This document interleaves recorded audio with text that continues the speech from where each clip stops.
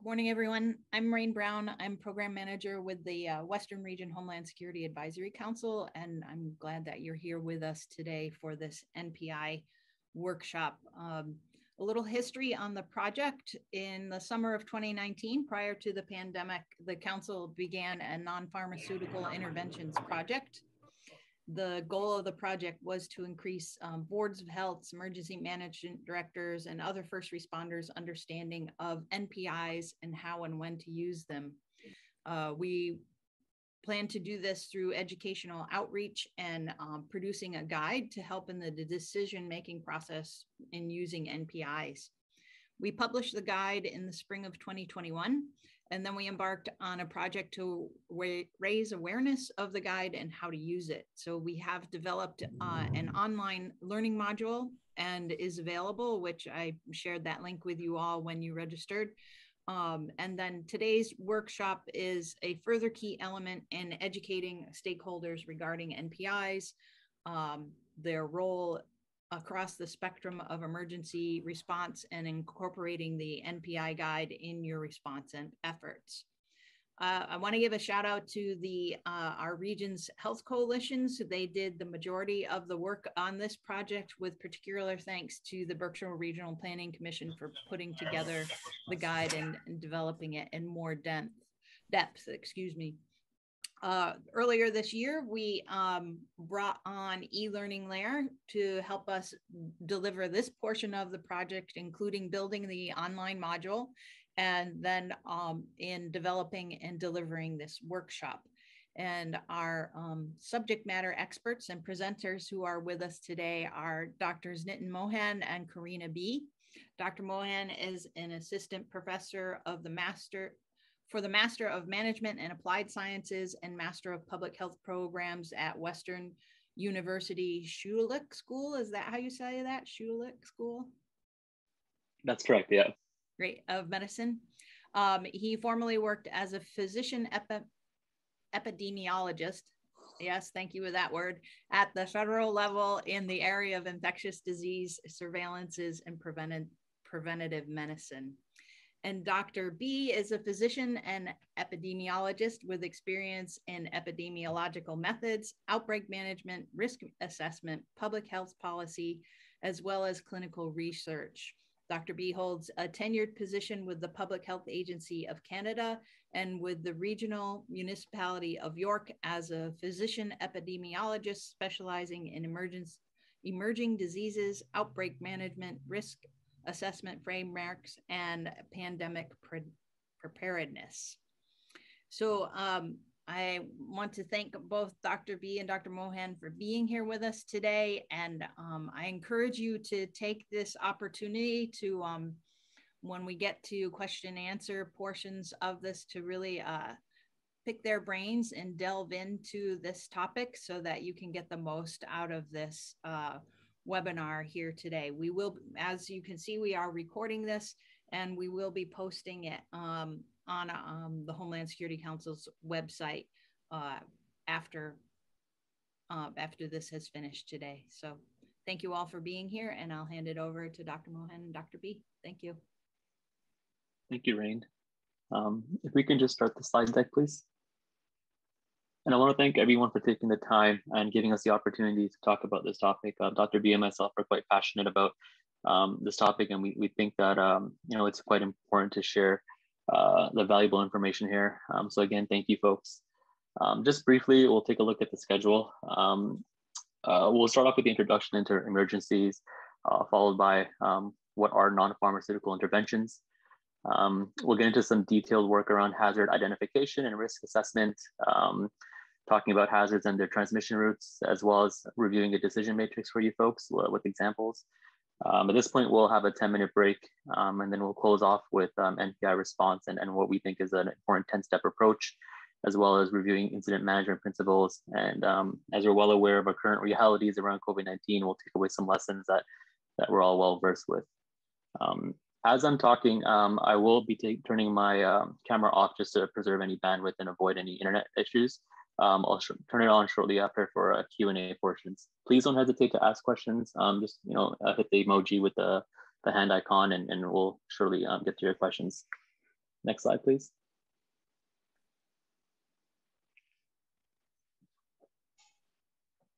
Our learning objectives for today, um, our hope is that you folks uh, come out of this, this seminar understanding non-pharmaceutical interventions, why they're important, understand the need for advocating for information surrounding NPIs, uh, which I think is quite important. Um, you know, if you take a look back at, at, some of the lessons that, that we've learned through the COVID pandemic uh, and some of the, the abilities and the successes and um, shortcomings of communication, uh, the ability to communicate the, the value of NPIs, I think is, is becoming increasingly important. Uh, we'd also like you folks to understand the three primary tools that make up the NPI implementation quick guide and also understand how to identify and react to situations using the guide. So when we think about emergencies, um, I'm sure uh, we have many images and thoughts that come to mind. But for the context of public health emergency, what we're thinking about is a current or impending situation that constitutes a danger of major proportions with the potential to result in serious harm to the health of the public. They're usually caused by forces of nature, a disease or other health risk, an accident, or an act, whether intentional or otherwise. They can be declared by government and public health authorities at the federal, state, and regional levels. We'll get into some examples right now. Next slide, please.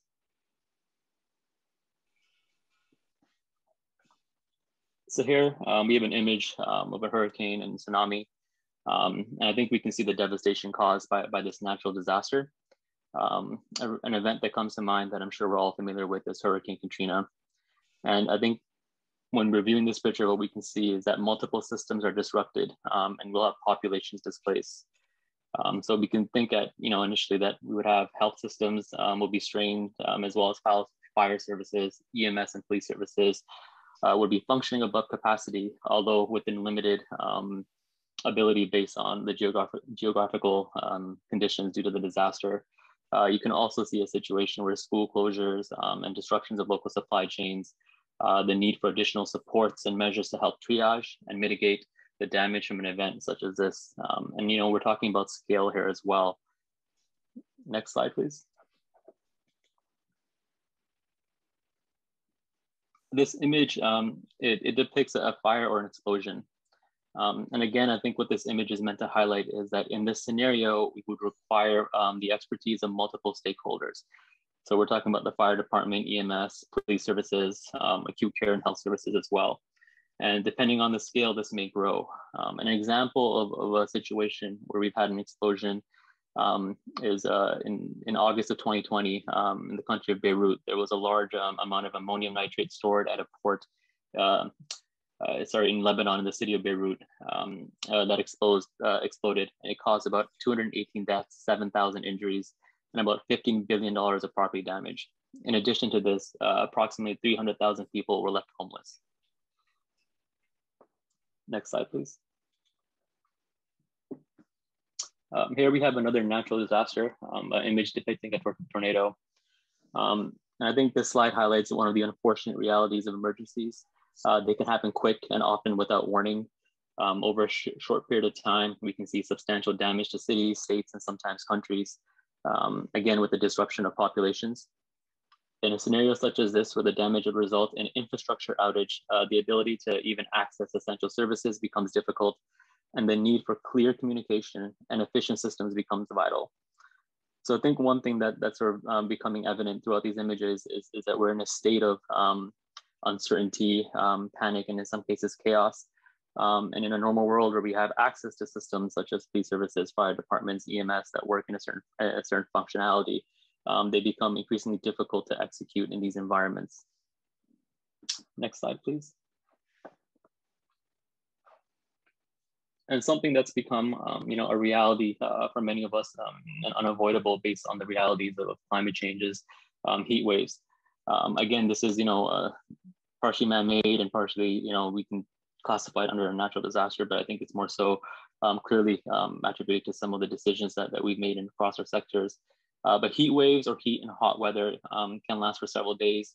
Uh, they can have a significant impact on society, including a rise in heat-related deaths.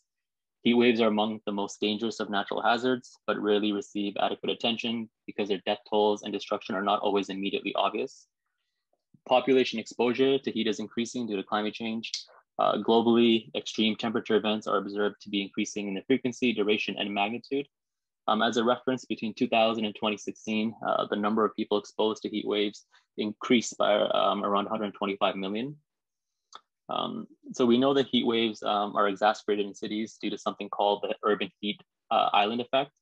Um, the livelihoods and well-being of non-urban communities can also be severely disrupted uh, during and after periods of unusually hot weather. And in these situations, um, heat waves, um, they can burden health and emergency services and also increase the strain on water, energy, and transportation, resulting in power shortages or even blackouts. Um, food and livelihood security may also be strained if people lose their crops or livestock due to extreme heat.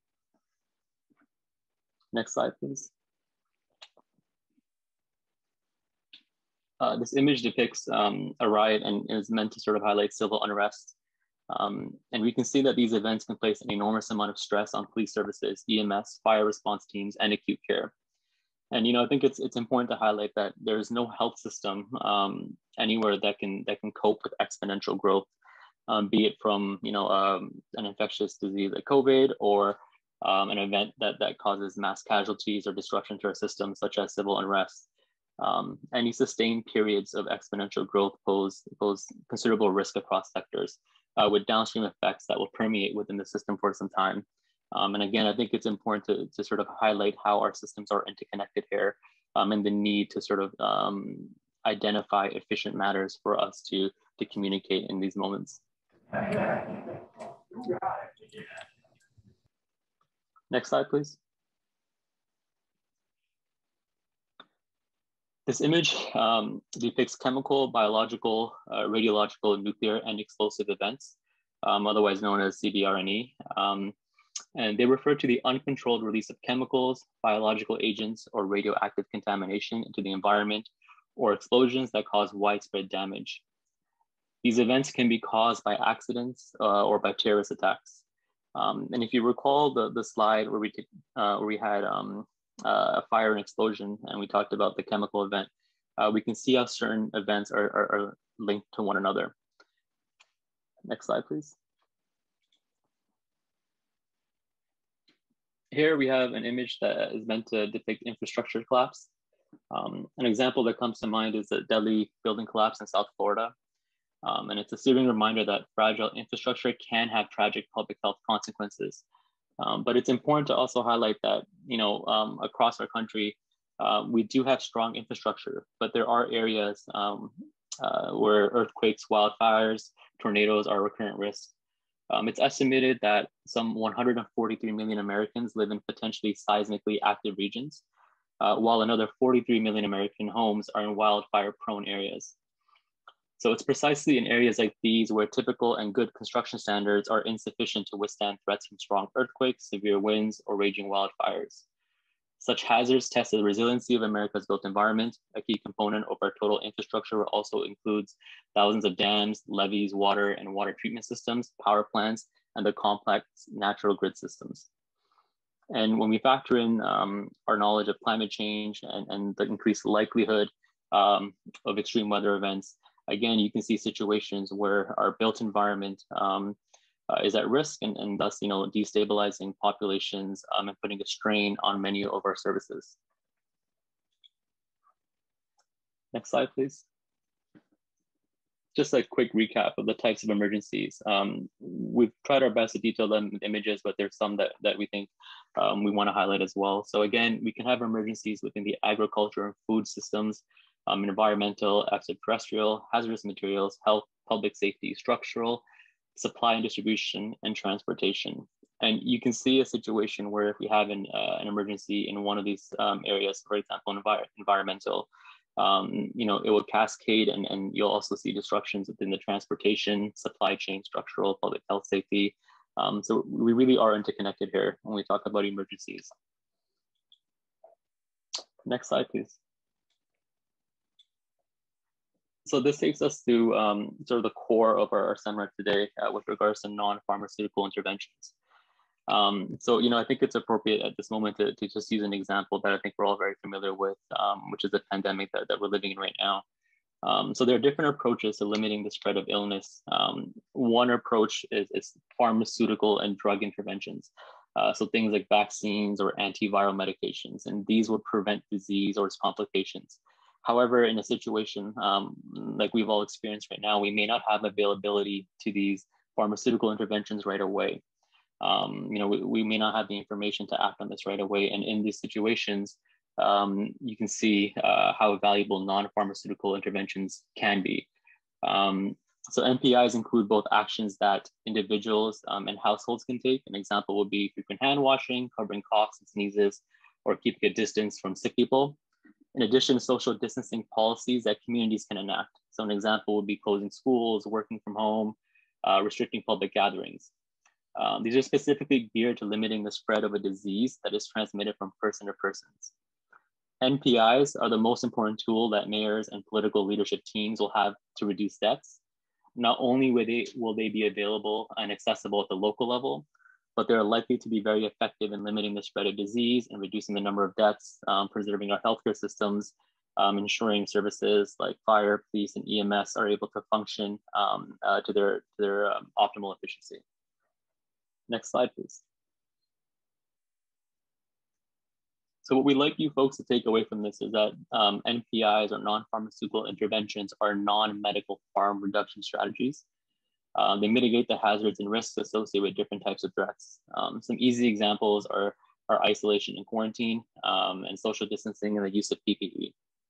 Um, you know, again, things like hygiene, external decontamination, um, and restrictions on movement or travel are, are, things that we can do in an environment that's fast moving dynamic where we don't have pharmaceutical interventions uh, immediately or we don't have the ability to procure pharmaceutical interventions at the scale that we need them. At this moment, I'll hand it over to my colleague, Dr. B. And thanks, Nitin. Okay, so the first process that we wanted to include in this lecture series is called the THIRA, um, or the, sorry, um, yes, the, so this is a framework that may look um, very familiar to those of you who've worked outside of healthcare, uh, because the concepts are actually quite simple and applicable to other industries. Um, and so the THIRA is the Threats, Hazards, Identification, and Risk Assessment Framework. So this is one of this, uh, the most important starting points for assessing any risk of an emergency, regardless of whether or not it's health related. Specifically, we could apply a THIRA to evaluate the risks of mass gatherings, for example. Um, and they're especially important for really large international events, such as the Boston Marathon, the Super Bowl, or the Olympics. We use it in public health when we start noticing an increasing trend in disease, um, say for the flu, for the seasonal flu, um, to inform travel advisories of travel related diseases such as uh, yellow fever or dengue, or even for gastrointestinal outbreaks um, in particularly densely populated areas such as cruise ships or army bases. So effectively, when we use the THIRA and include the THIRA in an evaluative report for, say, stakeholder engagement, it demonstrates that we've considered all possible risks and the impacts for a specific situation. It's also a fairly flexible tool. Um, so you can use a THIRA when you're not sure if there's a risk, um, you can use it when you feel like the risk might be emerging, or you can use it to establish that there definitely is a risk, and we can leverage that information to initiate an emergency response plan. Some health units are using this as an annual or biannual ranking of the overall risks of emergencies in the state of Massachusetts. We can compare um, a pandemic head to head with the risks of a cyber attack to natural disasters um, in events such as terrorism. So similarly, um, when we approach this framework, we have a few steps. Um, and the first and most important step is to provide the scoping. so in order to um, start, we define the scope, context, and approach for any specific situation. We want to restrict the location, the event type, and the population we're dealing with. And if your team is part of a specialist area, we want we might um, consider restricting the risk, risk assessment to only in public health or a specific department of emergency services. So before we start, um, let's bring in a specific example to guide some of our learning. Um, I'd like everyone here to imagine that the state of Massachusetts is gearing up. Um, it's gearing up for a mass event. It's the 250th Independence Day celebration that will take place on July 4th of 2026. So to define the scope of this, we would like to include information about the number of organized events, the type of events, the population density and distribution, any vulnerabilities that we might see in the cities and towns, and the capacity and resourcing of, of emergency services. So once we get a better understanding of the scope, uh, then we can spend some time hypothesizing a range of worst case events, which can be a hazard or threat for our mass gathering event. So before I begin further, what is truly the difference between a hazard and a threat? So the Department of Homeland Security defines a threat as a natural or man-made occurrence, individual or entity or action that has the potential to harm life, information, operations, the environment, or property. So a threat is usually an external source that is a risk to an organization. Um, and many security professionals consider threats to be man-made and with malicious intent. On the other hand, a hazard is any dangerous condition or potential source of danger that can lead to a risk consequence. So we can think of it as all hazards are not threats, but that all threats are hazards. And the most common hazards we can consider are naturally occurring events. so at this point, I'm going to turn a little bit over to our audience. Um, everyone feel free to turn on your muted mics or join the chat. Um, I'm asking you to come up with some risk scenarios that might result from an Independence Day celebration. So in the worst case, what could potentially happen?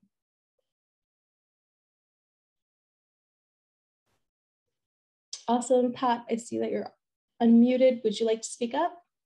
I'm sorry to pick on anyone. Yes, absolutely, Luke. Um, I see you in the chat. Um, definitely, we can have some man-made. Um, yes, excellent. Uh, man-made events such as a terrorist attack or um, a human-created uh, disaster. We can definitely have a major heat event um, as the event is taking place in the summer. Any other ideas? So we're bringing a lot of people together from worldwide. Um, we can also introduce um, infectious diseases. Yes, absolutely. We can get chemical spills. Um, we can have electrical outages. So the infrastructure around us would be stressed um, from the demand. Yes, definitely um, weather events as well. So maybe not a blizzard, um, but uh, an electrical storm could cause power failures. Great, thanks everyone for your ideas this morning. Um, other things we might consider are um, more mundane, but can also create a lot of hazards. So things like civil unrest, we might see increased crime coming into the cities. Um, we might have looting, theft, and requirement for armed defenses.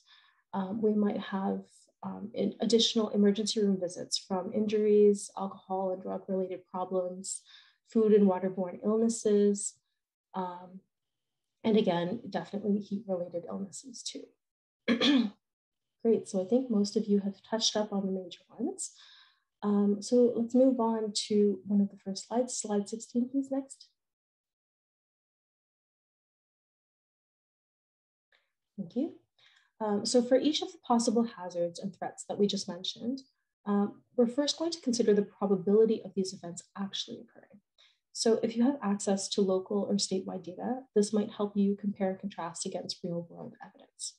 So for some things like foodborne or heat-related illnesses, um, we might consider these to fall under the frequent category. Uh, for other things such as crime or civil unrest, we might consider these to be probable.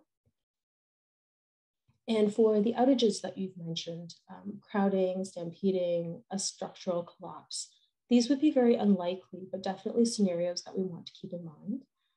And for additional threats, such as a coordinated cyber attack or terrorist activities, we might consider these to be very rare. But again, it would be important to dedicate some planning in these possibilities. Next slide, please. So after ranking our hazards and threats by likelihood, we're going to repeat this task based on their impact. So if we have a few people becoming ill from, say, a mild respiratory illness, that impact might be very low. Um, but if we have the majority of people becoming sick from a very severe illness, then the impact would be more major, and we would consider this a significant burden for frontline healthcare providers. So, similarly, where a structural collapse might be very unlikely, um, such an event could happen and could have a huge impact for everyone, um, leading to an overwhelming ripple effect, including impacts of injuries and deaths, um, increased use of emergency services, panic, impact to traffic and access, um, and more. So some hazards and threats may have a range of possibilities. So the definitions here are just a general guide for your analysis, um, but you can feel free to reclassify based on your own judgment. Next slide, please. So now we're gonna put it all together. Now that we've ranked every hazard and threat by probability and by impact, we'll plot them together on this matrix.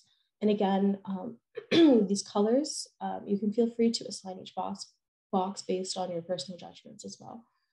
Generally, this matrix is aiming to help us classify and communicate risk also to other departments. For example, if we see a really hot weather event leading up to the event, we can identify heat-related illnesses as a main hazard. And we can um, assume that it has a major impact to many people. And due to this, we can communicate through media channels that the risk is high and additional measures such as cooling stations or weather advisories might be, might be called into effect immediately. On the other hand, with the risk of a terrorist attack um, or a cyber attack, which is much more rare, um, if we do have intelligence reports at the time of the event to raise that threat to probable, we might lead to a higher impact classification for the public and the communication may be the impetus call for additional police presence or for, say, financial institutions to take additional measures. Next slide, please. So as we mentioned, risk categories are important because we use them to communicate risk across departments, professions, levels of government in somewhat of a comparable way. Um, it also allows us to set up thresholds for stepwise action. So when the risk increases, we know what to do. Um, we can call for help, we can notify the public, we can divert resources, or even cancel events. Next slide, please. So at this point, I'll turn it back to the audience just to recap quickly on the number of hazards that we've seen so far. So feel free to think back on some of the photo slides that Nitin presented or some of the situations that you might have seen in the news or that you've experienced personally. Again, um, feel free to write in the chat or speak up personally.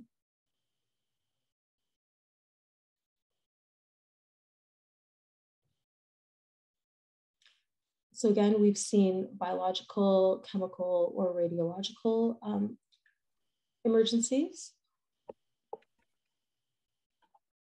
We've also seen things like riots or stampedes. we have a quiet group this morning um, and definitely um, man-made issues like explosions, cyber attacks, um, and potential natural issues, um, natural disasters and infrastructure collapse. Okay. This, this is Sandra. I just like Sandra Martin. I just like to remind everybody that the threats, um, well, I think everything is related to public health. The threat may look like it's a threat to the infrastructure for um, or or to the responders or to some other threat. It's not necessarily a threat to the medical system or the public health system.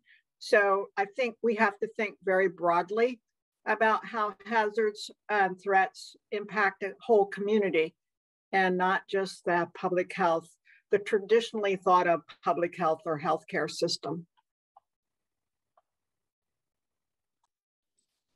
Thanks so much, Sandra. Yes, absolutely. Um, we're trying to take the lens of all emergencies that we can assess from any situation. Um, and hopefully you can apply this in your working or uh, personal life as well. We're not um, necessarily honing in from a public health angle, knowing that um, many of you professionals on the line may not be working in public health. Um, however, we, we will include some examples towards the end. Thanks, Andrew. Okay, so Next slide, please, Andy. Thank you. Okay, so let's talk a little bit more about hazards and how they might propagate risk. For some hazards, like biological hazards that you see in the first column there, um, they can be transmitted through all kinds of routes. Some through airborne droplets, um, sorry, airborne or droplets, um, and sometimes off surfaces, which we call fomites. And others can affect people through the fecal oral route um, from contaminated food, water, um, or through animals where a disease can transition from an, from an animal or an insect into humans. On the other hand, we have other hazards. Um, we can reference the last column, column eight, we have cybersecurity threats. And these have very restrictive transmission routes. So mainly through electricity and the internet um, network connectivity. I spend a little bit of time here talking about natural disasters.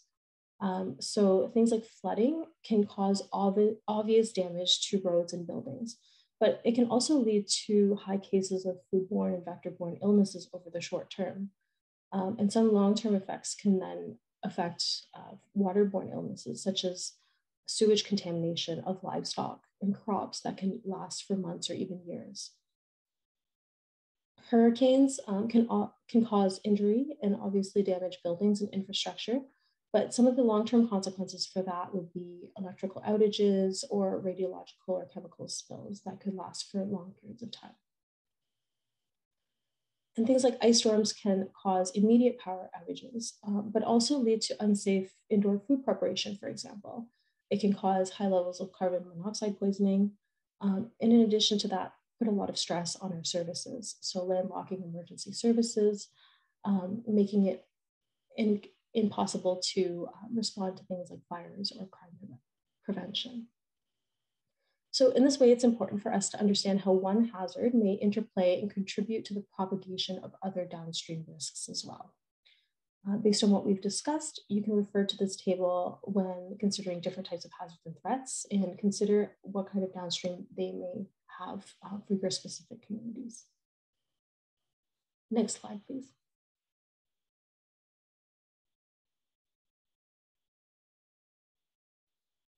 Okay, so we've covered some of the basics on identifying and assessing for risks. Let's talk about the main topic of our um, discussion today. What are some interventions that we can use to combat threats? Um, in this lecture, moving forward, we'll cover 16 non-pharmaceutical interventions. As we go through these interventions, it's important for you all to consider the impact of these interventions on society the sheer amount of resources, costs, and logistics required. Um, and it's also important to consider that for different communities, there's different tolerances for what is really considered acceptable. For so it's for our judgment to determine um, what might be the best fit. Next slide, please. So this may look familiar to some of you, um, and I'll start from the beginning and um, briefly summarize each and every one of these NPIs. So in terms of the first one, public education and guidance, in my opinion, this is one of the most underrated and empowering types of interventions where we can enhance government transparency with the public and also help share information quite quickly. However, um, guidance can be difficult when evidence changes quickly or when we have disjointed information across some expert groups. So incorrect and delayed information can really degrade trust with the public. And once things move in that direction, it's really difficult to rebuild that. Then it's a really, um, then it's really an uphill battle um, to overcome things like conspiracy theories or conflicting information. B, good hygiene and health practices. For some examples that are um, things like being courteous, covering your sneezes and coughs, asking people to stay at home when they're sick, um, these are communal practices that can be learned and normalized to promote better hygiene etiquette. Personal protective behavior um, are other behaviors such as cleaning, hand washing, um, limiting capacity in particularly crowded spaces, keeping windows open. These interventions, along with um, B, good hygiene, are, are ones that are tend to be well accepted, but a little bit inconvenient and this requires a bit of a culture shift or attentiveness, on behalf of groups to really adopt these strategies. For personal protective equipment, um, we have things like masks, gloves, goggles, hazmat suits, hard hats. And similar to before, this intervention requires a bit of a cultural shift as it can be seen as inconvenient. However, compared to personal protective behavior, um, this would be much more of a costly intervention. So when we implement something like this, we need to consider, a, consider the cost of acquiring supplies, maintaining those supply lines, ensuring um, these items are up to code and they're not expired, and coordinating the logistics of making these supplies available for those who really need them. For social distancing and cohorting, now similar to personal protective behavior, social distancing is a low economic cost intervention. However, as we've seen with COVID, prolonged use of this intervention can have huge economic costs for retail and restaurants and also an elevated social cost, particularly for our young and our elderly populations. So, as with other behavioral changes, this requires a strong trust and collaboration from the public to ensure that these measures do actually have an effect in risk reduction. So, for surveillance and rapid testing, this is one important one for containing the further spread of the disease or a worsening condition. and these situations can be for things like poisoning, radiological spills, all the way to communicable disease and animal bites. So early access to reliable testing and diagno diagnosis in cases of travel-related disease, such as Zika, are important for us to reduce spread beyond just the initial state or place of infection to some other downstream consequences, such as to unborn infants in the case of Zika. While the overall cost might be low, um, such testing sorry, the overall societal cost, um, that is, testing costs may be really difficult to sustain if large proportions of our populations are affected in the long term. Now with sanitation, adequate waste management and cleaning are required um, at the public level and can also be taken on by private entities. Um, not only are we really considering the act of cleaning here, but also the disposal and cost of um, associated with such. So sustaining these resources and costs are not easy and can really mean the difference between keeping a school or a business open at the grassroots level or closing it down completely. Finally, H, environmental health. Um, different agencies currently work together on a routine basis to ensure that things like food, water, air, and housing um, are safe for the public. And when these processes are compromised, fixing or improving them can come at a great cost and have huge implications for the entire population. So we have seen um, an ongoing public health emergency in Flint, Michigan with safe potable water, which has led to some cases of heavy metal poisoning. We can also turn to our food industry and the importance of monitoring meat, dairy, and fruits and vegetables to reduce foodborne illnesses. And while other intervention strategies um, tend to be more reactive, the high societal cost of environmental hazards has taught us over the years to really set up those routine policies and procedures um, under government agencies such as the FDA to uphold higher standards to keep us safe. Hi, Sandra, I see your hand up. Go ahead.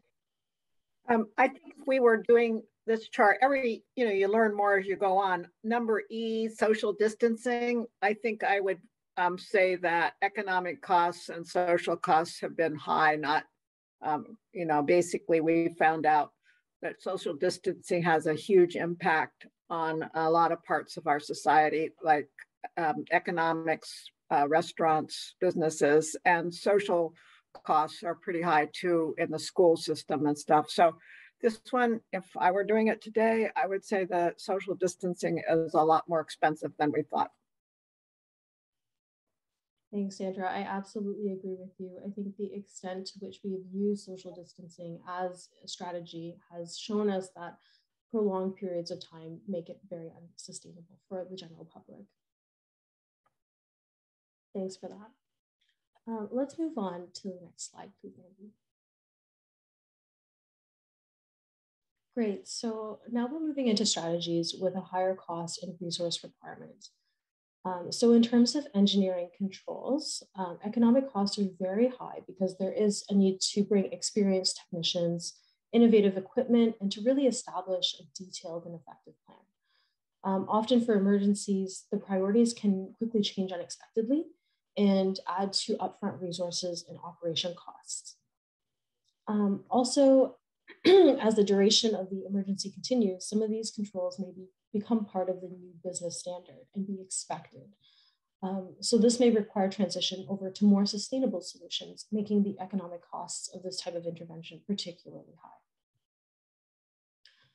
And building on that, um, hardening infrastructure is a scaled up version of engineering controls with regards to costs and resources, we're talking really about a sustainable change to prevent and mitigate the impacts of a particular emergency, but also future emergencies. So, following an example like Hurricane Katrina in 2005, I think they invested about 14 billion in providing a better infrastructure system in addressing um, risks of future flooding. So, they implemented measures such as um, improved data systems for routine surveillance of rain and weather, forecasting technologies for hydraulic modeling, um, construction design to mitigate land subsidence and to counteract rising sea levels in some areas. Um, so such projects require such a great deal of upfront investment and a really strong vision. From my personal experience working in emergency diseases, um, or emerging diseases, sorry, um, investing heavily in this hypothetical is always a very tough sell. And it's more so than investing in a less but immediate reality for some. So moving on to case and contact tracing, this remains on the list as a moderate cost um, and primarily exists as an NPI for infectious diseases. So we can think of this as a very laborious task for frontline workers and to consider their point of view. Um, they've been redeployed to these positions with very little notice. They have to learn new technology and new processes, and they have to detail important epidemiological concepts at times, which they may not have training for. So, when we implement this intervention, I think one of the most important things to consider would be training, shadowing, refresher courses. These are absolutely essential. Otherwise, in the grand scheme, what we tend to get is garbage data in, garbage results out. For isolation and quarantine enforcement, um, in the recent months, we've seen routine usage of the quarantine order with more respect to travel return and infected individuals. However, um, when I did a um, scan and read a report, it seemed to show that martial law in the US has been declared at least 68 times, um, and primarily for the use to control riots and civil unrests in situations like labor disputes and um, domestic violence. Mainly these have taken place over the um, early 1900s. However, um, we've seen definitely, thankfully, um, a much lower tolerance for these interventions now. So it's better understood that preventing movement does have major and personal um, economic costs and even crosses the line of acceptability to infringe on personal liberties. So I think this strategy is best reserved for some of the most grave emergencies. Work policy changes. So sometimes hazards can stretch for unexpectedly long periods of time, um, such as in the case of droughts, ice storms, epidemics, or even chemical spills. These situations put a lot of pressure on everyday institutions and businesses to really maintain that status quo, um, either because the workplace has become unsafe or even simply that it may appear to be unsafe for some. So, depending on the type of work environment, eventually policies should come into place to ensure a more accountable workplace. So, we have policies which include paid sick days, remote or flexible work, hazard pay, um, things like PTSD counseling, safety training, and so on and so forth. For seizures and embargoes, um, when a location becomes unsafe in any event, some bodies of the government, um, such as the FDA or the medical officer of health or the sheriff's department, they do retain the right to shut these um, locations down.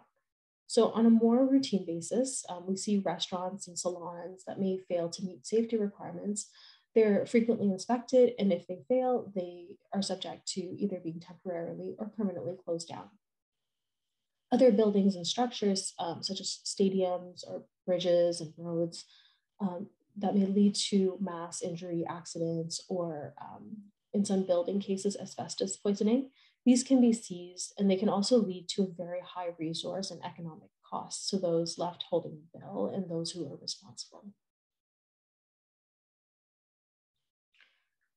For travel restrictions, um, while travel restrictions and warnings do pose um, an international relations challenge, they're a really important way for noticing, notifying travelers of situations that are happening overseas.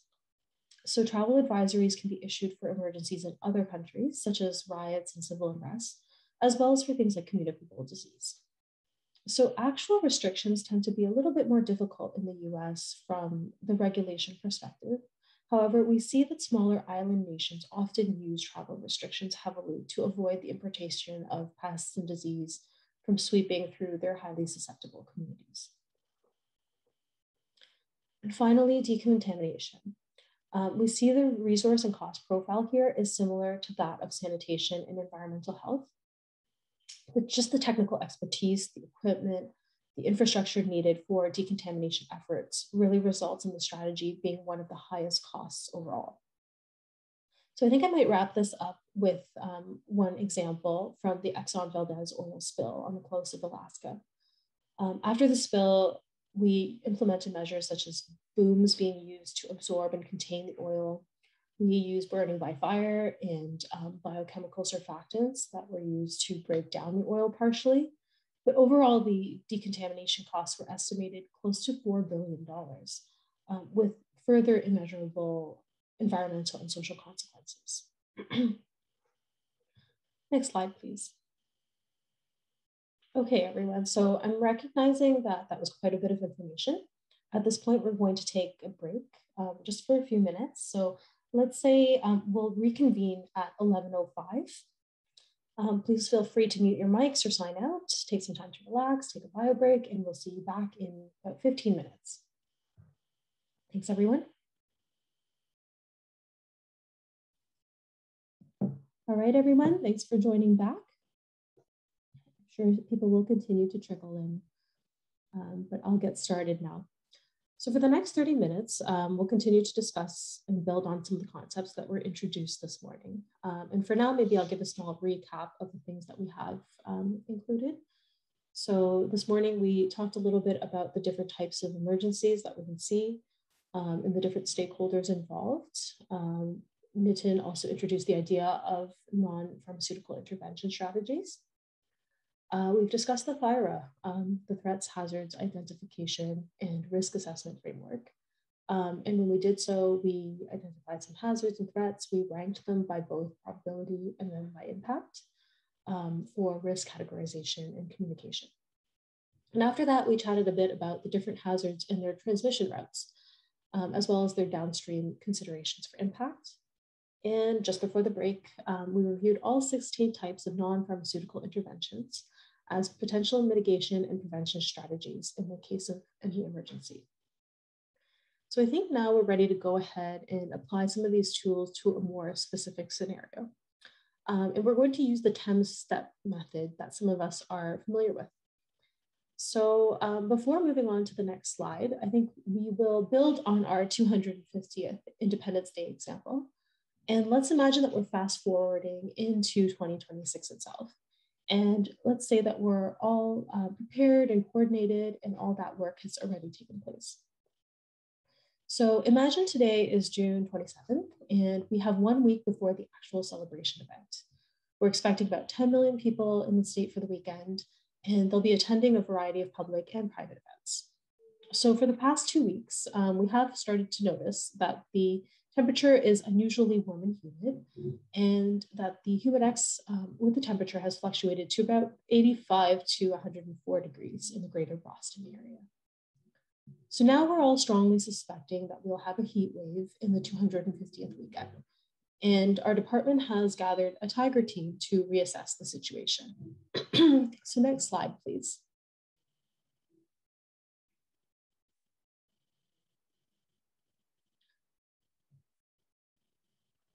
And next slide, please. So the very first step in our 10-step response is to really assess the hazard. So if our team has conducted a comprehensive THIRA of a heat wave months ago, we could refer to that information. But if not, this would require a bit more work. Along with identifying that this is a natural disaster, we can, rent a, we can reference quantifiable evidence from previous situations in the past, either in Boston or elsewhere. Um, and this is very much of an environmental scan.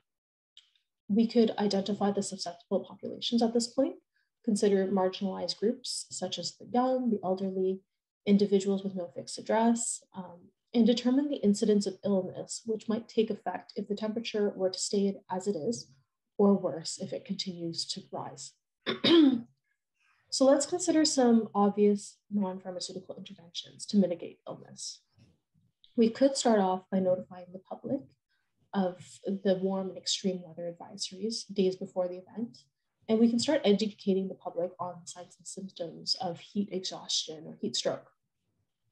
Another strategy would be to consider delaying events um, taking place, especially during the warmest hours, and start moving them into the, into the evenings um, to the cooler temperatures. We can also set up water dispensing stations, which allow free accessible hydration and consider setting up public cooling stations as well. Uh, we could also account for additional me emergency medical services that might be needed. So we could allocate overtime capacity for these personnel and resources. And finally, for the very large crowded events, we can consider shortening or canceling them as well. So how much will some of these options cost? Will they need external resources and time for coordination? For some of these basic ideas in place, um, we can now repeat the detailed THIRA, um, now for a higher probability and perhaps a moderate impact at this point, and consider what the risk categories which should be communicated to other stakeholders. So step two, notifying local public, notifying response partners. So the local public health unit tends to have very strong partnerships with local hospitals, emergency services, such as fire, police, paramedics, as well as with the Board of Health. So it's important for everyone to be aware of the key stakeholders at play in the event that emergency might be declared. Um, and those people will need a direct line of information for additional support. So in this step, it helps to determine who is really responsible for certain tasks um, in the event that we all call for help. Also to ensure um, we should have the contact details, such as direct phone numbers and emails collected, and make sure that they're up to date in case they're needed. So step three, let's review the plans, policies, and procedures. so what is the plan? How do we know when we should be coming, we should be increasingly worried? Um, do we know if the go-ahead plan depends on the temperature outside or the number of people with illnesses coming into our emergency departments? Decisions will be made, um, will be, need to be made um, in advance to establish these thresholds and the thresholds for action um, as they're part of the emergency response plan. It's also important to consult with a legal team on things like authority, such as the right to issue an emergency media advisory, um, to cancel an event, or to really take over a private space, such as a stadium, um, in order to support emergency care or um, so on and so forth. So it's better to have that counsel before the emergency is declared. Step four. so if an emergency is declared, who does what? When an emergency is declared, we typically shift into a different organizational structure as a whole, um, which is smaller and more nimble. Um, this is known as the Incidents Command System or the ICS. So in your new structure, your organization could be restructured under new functional units. And we call these things like planning, operations, finance, or logistics. And for each unit, we will need to identify leads that we typically call chiefs um, and key personnel reporting to each chief.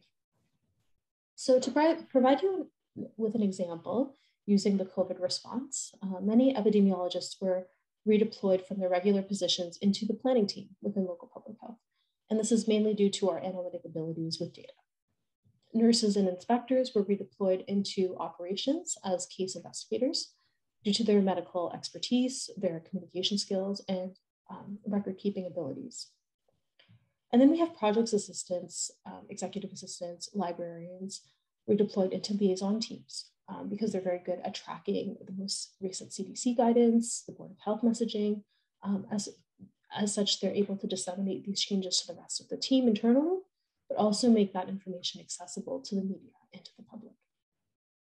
So as you can see, step four is fairly important um, because we're able to identify the skills and experiences and roles available, um, which should be mobilized during the emergency. And step five, begin public information.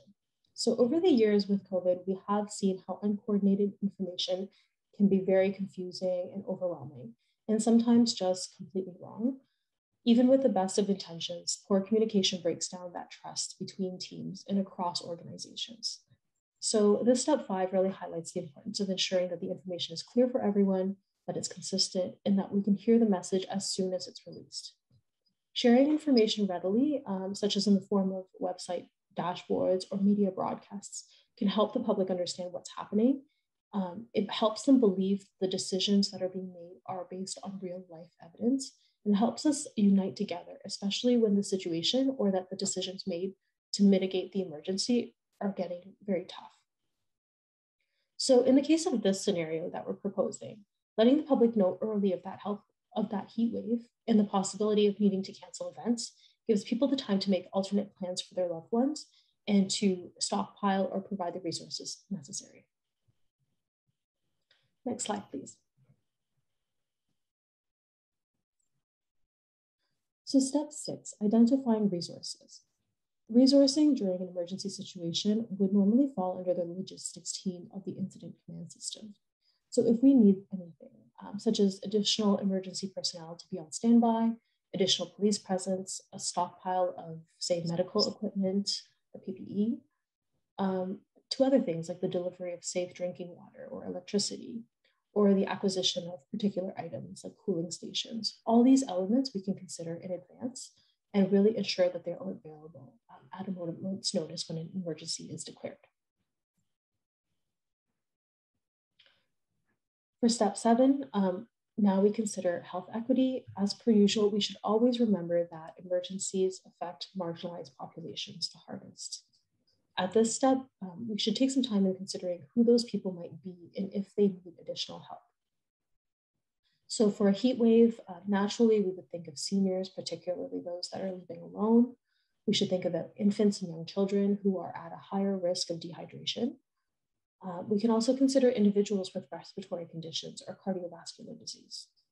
And then individuals in group homes, shelters, or with no fixed address um, we should touch base with them and ensure that uh, the proper resourcing is available if needed. And then to apply a slightly different lens on it too, um, we can think about the general public who might not have internet access or who might not even speak English or Spanish as their primary language. It would be really important to try and target these populations with the messaging that we have available. So um, I guess with that, I'll share a personal example um, from the Greater Toronto Area. So at the beginning of COVID, um, the Peel region, um, due to its multi-generational housing and high cultural diversity, was one of the worst hit and worst identified hotspots for the disease.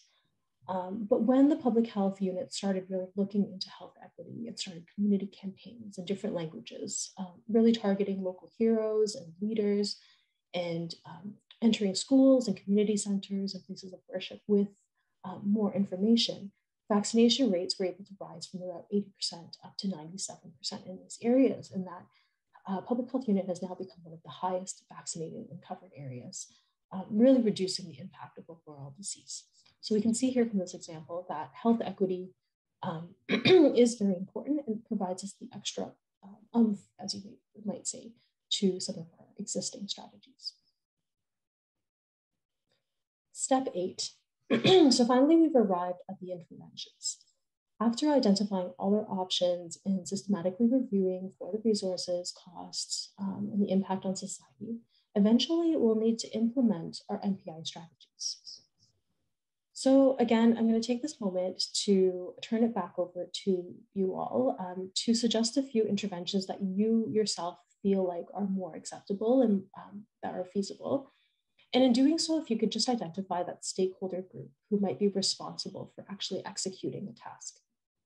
So I might give you an example here. Um, so for the liaison team of the ICS and the media, these folks would be important in executing things like weather advisories.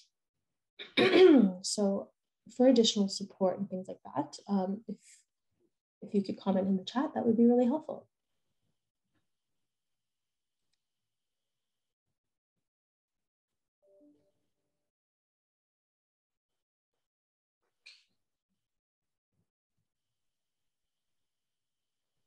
Okay, I see we have a fairly quiet group today. Um, I suppose I'll go on. Yes, Sandra, education, definitely. Um, education from the public health unit, education and coordinating information uh, from a joint information um, system. We have um, additional support for EMS services. So we'd be liaising directly with fire, police, paramedics. Um, medical officers, they would be announcing event restrictions and cancellations of events. We could also be uh, speaking to hospital CEOs to monitor um, what they're seeing on the front lines. So, are they getting more ER visits for heat related illnesses? Do they have data for this? Absolutely. I think it's also really important, Sandra, um, definitely to not to be transparent with the public. Um, sometimes when we try to paint a beautiful picture that things are all green and um, all the strategies are working, it really erodes trust. Um, the public are always smarter than we give them credit for. So it's really important to demonstrate that um, in some cases, the evidence is showing that it may not be working. Great. Okay, so moving on to step nine. Um, step nine is really about determining the efficacy of our strategies. so in some situations, as for our heat wave emergency, it might be necessary to deploy a variety of interventions at the very same time. Uh, for more prolonged emergencies, such as a communicable disease or a chemical spill, we might choose to deploy the most impactful interventions one at a time um, to determine if these strategies are actually working with the evolving emergency. So as these strategies become implemented, it's important to also collect data and objectively determine whether or not there's improvement. Um, some of the questions that we might ask ourselves is whether the public is even aware of the health of the heat wave. So are there public communications working? Um, can we, we can actually monitor things like web clicks or telephone calls to local health units um, discussing these issues. Another question might be, are people using potable water stations that we're providing? If so, how many gallons are we using every day? Are we running out in certain locations? also, are the EMS services on site really allowing us to treat urgent medical issues? So, how, how many heat related conditions are really being identified daily? How many avoidances of the emergency room are we permitting? Um, and also, what do the emergency departments and hospitals look like? what is the bed capacity at these hospitals? These are all quantifiable pieces um, and measures that we can use to um, identify if improvement is happening. So if required, data can determine if adjustments need to be made to improve the efficacy of our plan. For example, if we know that we have a major concert being held at a specific location, we can move all the water stations there to that area so that they can be better accessed. On the other hand, for things like hospitals, um, if, the ho if one hospital is particularly busier than usual, we can use methods to, away, to transfer away less urgent patients to other hospitals. We can also communicate within the paramedic services to, to coordinate that. Um, and we can also reduce um, things like ambulatory clinics that may compete for resources. And finally, step 10. so after all that, um, we're now at step 10, which in my opinion is uh, also a very important step. It requires us not only to imagine this emergency, to predict how some of these events might unravel, but also to imagine what the emergency will be when it comes to an end. So similar to declaring an emergency, sometimes it's helpful to establish thresholds for undeployment of the incident command system as well. So when can we really declare an emergency over?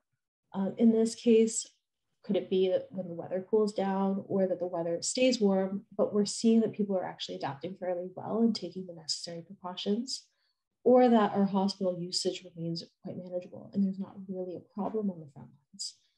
So ramping down um, such an emergency also requires us to identify the stakeholders left responsible for coordinating those final tasks, while other departments can go back to supporting routine duties.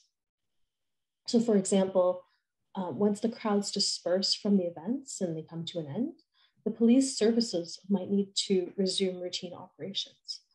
On the other hand, um, hospital services may continue to respond to sick patients, and the local health unit might want to summarize the emergency. So these recovery duties can really last for weeks or months and up to years even after an emergency. And similarly, we might decide to perform an audit on the appropriateness or success of our responses. Um, or we can even collect and use that data to inform future action plans in similar situations. So for the time being, I'm going to turn back to Nitin, um, and he's going to talk a little bit more about the incidents command system. Thank you, Karina.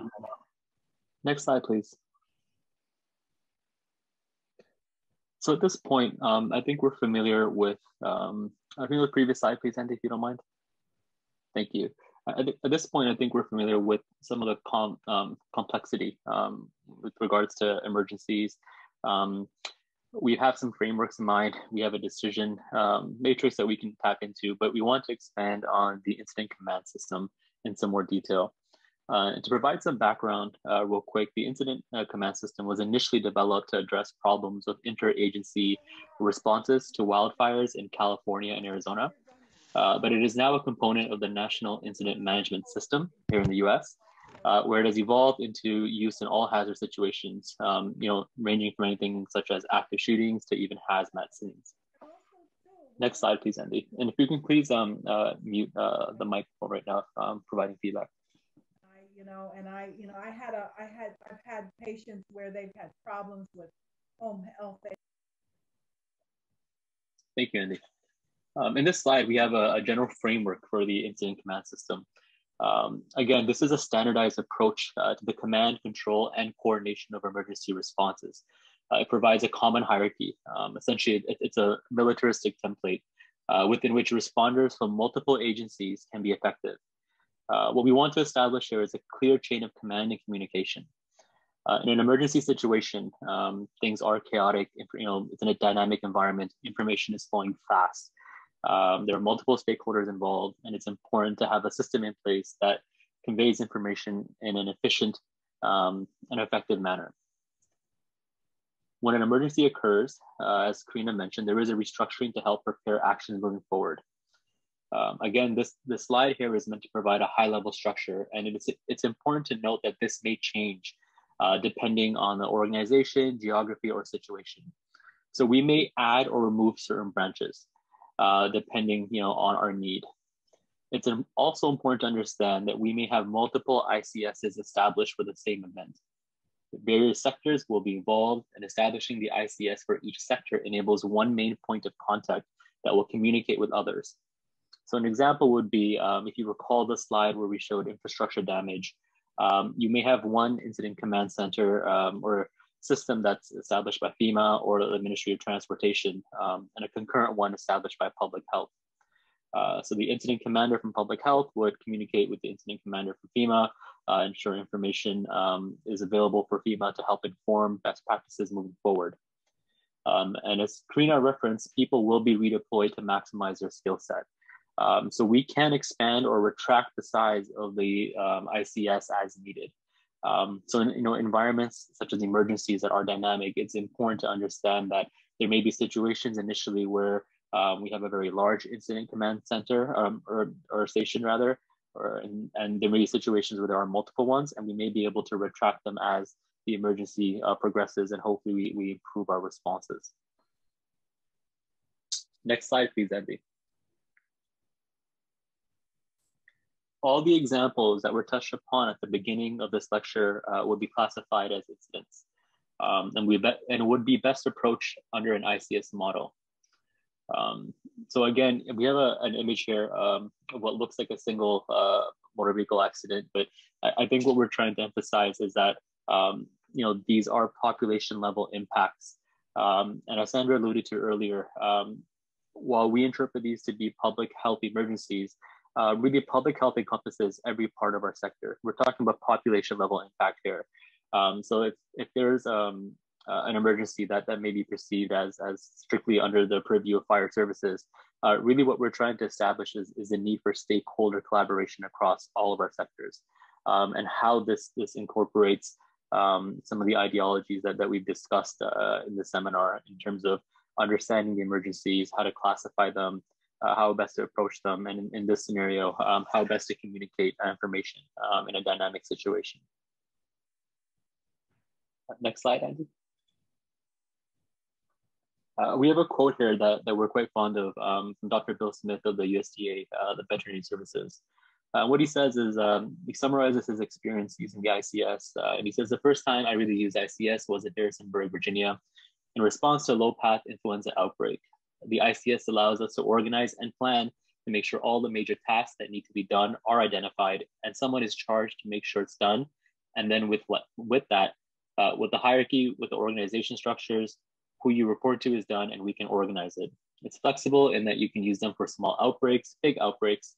It has a self-contained organizational system built into it, can be used for any, any type of animal health event. It doesn't have to be disease of magnitude. It can be as simple as moving an area office, if you will, or a federal office or moving people, uh, so on and so forth. Uh, one disease outbreak or a huge disease outbreak, it doesn't matter. That's how I would define the beauty of the flexibility of it. And I think that's important here. Um, again, you know, emergencies uh, is not a one size fit all. They're often specific. They're unique in, in, in how they present. Um, but our ability to coordinate a response uh, in a manner that is most effective um, will, will do benefit to the populations that we serve. Um, and I think, you know, we've seen some of the, the, the benefits and some of the downfalls of communication being um, uh, disseminated efficiently and effectively um, throughout you know our, our pandemic and some issues where where that may not have been done as as best as possible. Next slide, please.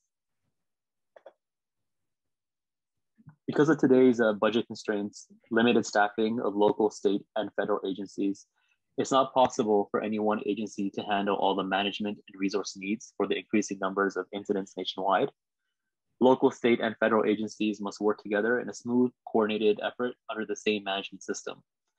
The ICS is a standardized on-scene, all-risk incident management concept. It allows its users to adopt an integrated organizational structure to match the complexities and demands of single or multiple incidents without being hindered by jurisdictional boundaries. ICS has considerable internal flexibility. It can grow or shrink to meet different needs this flexibility makes it a very cost-effective and efficient management approach for both small and large situations.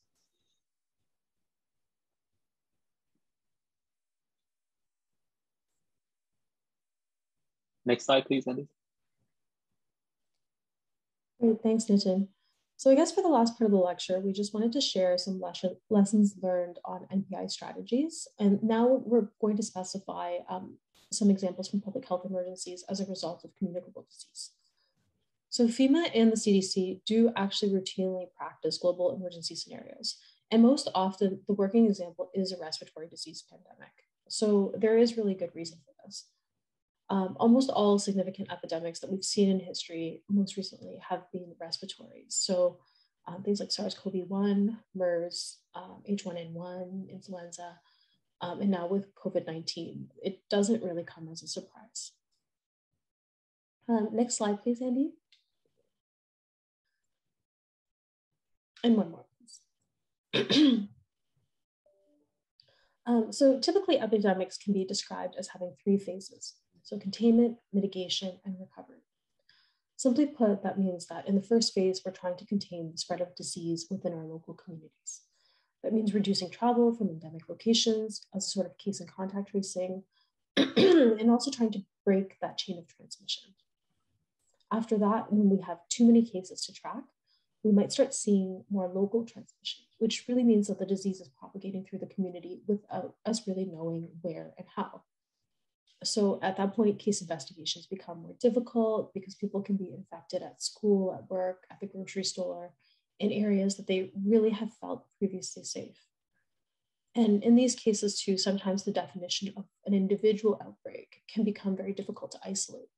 Um, because if we consider it, um, a healthcare worker at a hospital could go home and infect their spouse, who's a school teacher, who then transmits it to the classroom, to their students, and into different other households.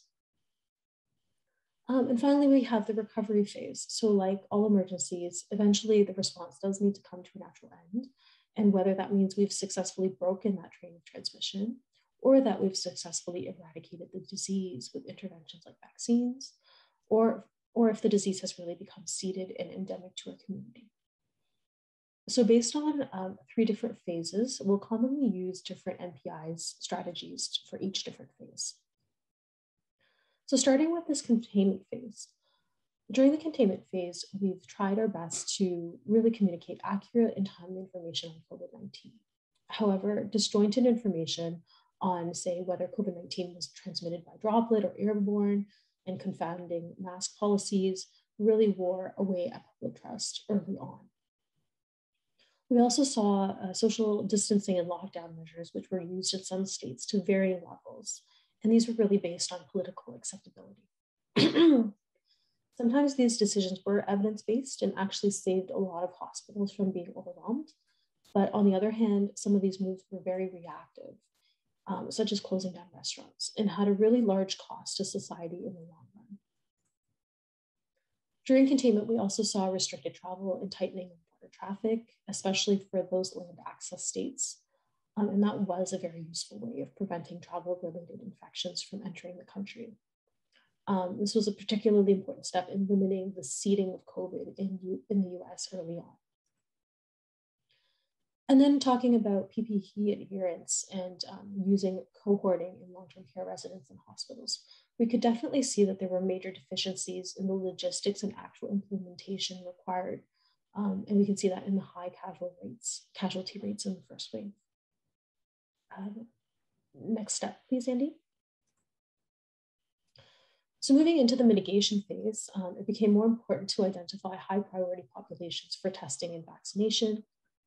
Communities themselves started developing more reliable social distancing plans themselves organically, such as with bubbling um, and more systematic disinfection and ventilation through businesses, and safer work policies, um, such as work from home or additional sick days. Government infrastructure also improved during this time. Um, so we stood up better surveillance and contact tracing forecasting models, um, and their results were being shared more widely with the public as they were being more educated. And um, we adopted more automation and routine. so things like over overseas flights were being corralled into centralized airport hubs to facilitate testing. And final step, please, Andy.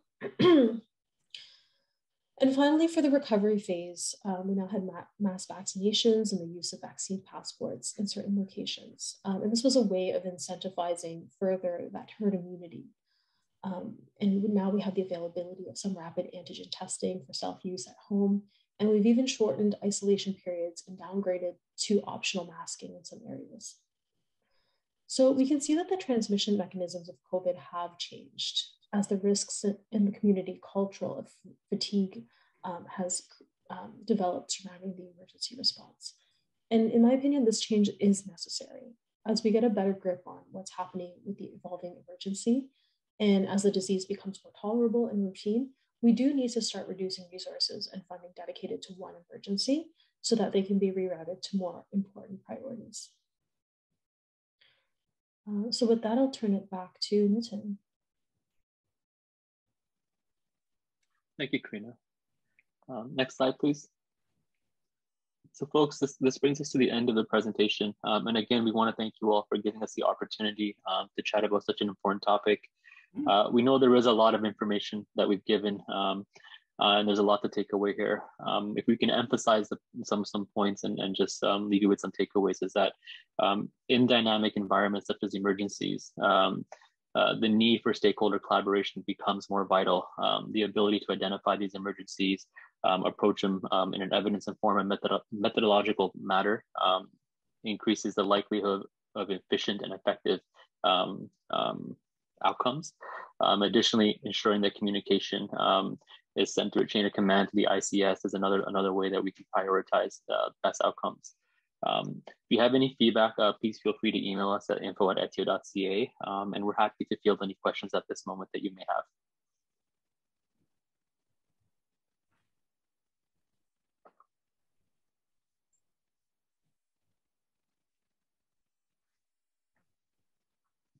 it may be helpful, Andy, if we can go back to the, the grid and, and um, folks want to turn the camera cameras on or just unmute.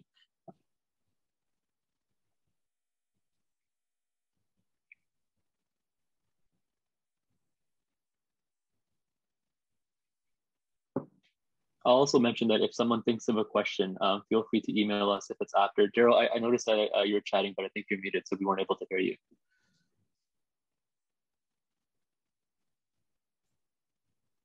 Oh, still can't hear you, Daryl. I'm sorry. Still muted. How about now? We're all good now. I, I think from uh, COVID, the thing that I have seen mostly is I hate to bring up political, but I think the lines are drawn so uh, so much now between the two sides politically that people don't trust the trust isn't there and you know and i've seen with covid that people that you thought would go out and get vaccinated or would promote it. It's it's not there as much. Maybe it's getting better now, but in the beginning, you know, people didn't know what to believe. I think is kind of what I'm saying. Is how how can we get people to buy into it that it's actually, you know, that bad and it's that we need to take measures. I think that overall is the hardest thing to get instilled in people that you know it's an actual emergency and have them buy into it. I, you know, I, I appreciate those sentiments, Daryl. Um, I, it reminds me of a quote from a, a well-known um, outbreak management professor named Jonathan Freeman, um, who says that, uh, pulling it up right here. Um, we must be transparent with media on outbreak data. Uh, and if you cover stuff up, the cover up becomes the story. And I think what's happened throughout the pandemic is whether it's by, um, whether it's accidental or by design, some of the information um, could have been given in, in, a better manner. And I think you know that the divide is is, is definitely caused um, some issues from, from, from an emergency management standpoint. Um, the reality is is our our sector in public health is tied to governance. Um, it's something that that you know we're we're sort of you know bound to. Um, and oftentimes, you know, we we try to be advantageous of various governments in terms of where opportunities lie for public health to make an impact. Um, but I think this again underscores the ability to have strong collaborative relationships with other sectors. Um, you know, public health traditionally um, has been seen as, you know, whether it's health promotional or vaccine campaigns, but really it encompasses everything from our the ability to to um, you know uh, get fire fire services, police departments, EMS all working in a manner that that serves the public, um, oftentimes, even from our experience here uh, north of the border in Toronto, most people get their information through um, uh, your local police services Twitter, right? And and we rely on them to convey public health information, you know, be it on whether it's an emergency or vaccinations, or at least route them to the correct sources. Um, so I, I, appreciate your sentiments, Daryl. Thank you for sharing that. Mm-hmm. I, I feel that um, we're definitely living in a in a time of um, somewhat of an anti-establishment or um, challenging um, government challenging situation um, with both social media avenues, but as well as um, just a general fatigue. I think um, the population is tired of having so much information bombarded at them, and we haven't quite honed into the expert groups who should be at the forefront of a certain situation. So, in terms of public health, um, we at the beginning of the pandemic, we haven't really seen the CDC you know, come out and speak on their behalf. Still, the representation is very much from the politicians, um, both in Canada and in the US. And I think that does um, murky the water a little bit to the conversations that need to be had and the credibility of the sources that the information is coming from. Are there any other questions or comments that we can field while we have folks on with us?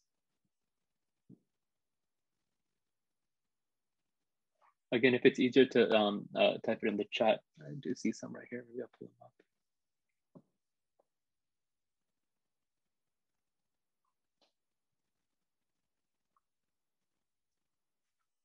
Okay. Um, well, if there aren't any more questions or folks can't think of anything right now, again, uh, please feel free to email us if anything does arise. Uh, we'd be happy to field questions. Um, but I guess for the sake of time, um, again, we thank you all uh, for giving us the opportunity to chat. Thank you, Rain, um, and Sandra as well for chiming in. Um, and we look forward to the next seminar. Thank you both for uh, today's presentation and all our participants for being here. Appreciate your time.